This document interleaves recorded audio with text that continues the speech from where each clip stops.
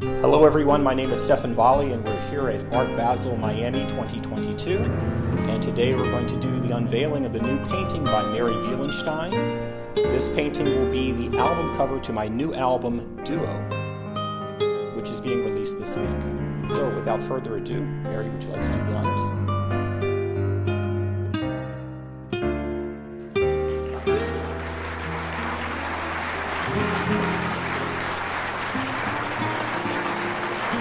Thank you.